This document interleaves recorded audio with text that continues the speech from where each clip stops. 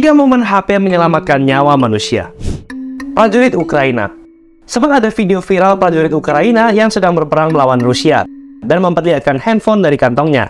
Tapi ternyata di handphone tersebut terdapat peluru yang menancap dan menyelamatkan nyawanya. Peselancar S Ketika peselancar S Tim Blakey jatuh sedalam 5 meter di jurang pegunungan Swiss, ia melakukan emergency call dari handphonenya yang baterainya cuma 3%, dan tim penyelamat pun datang menyelamatkannya. Wanita terjatuh Susan Putnam di New Jersey, Amerika tiba-tiba terjatuh saat bekerja di studio bunga miliknya. Kepalanya pun bocor karena terantam besi. Untungnya ia menggunakan AirPods dan ia menggunakan Siri untuk memanggil polisi dan menyelamatkannya.